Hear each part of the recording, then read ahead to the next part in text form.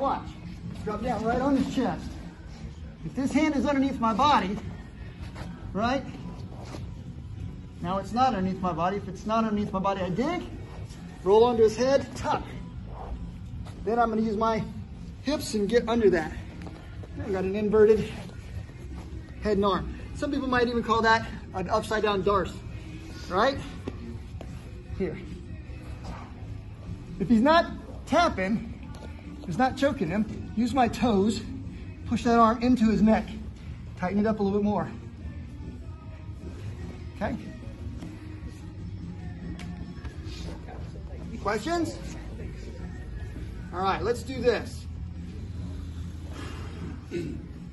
Get a partner.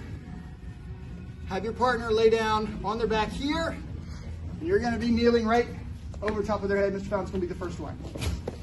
So I'm gonna be here, and the rest of you guys are gonna be there.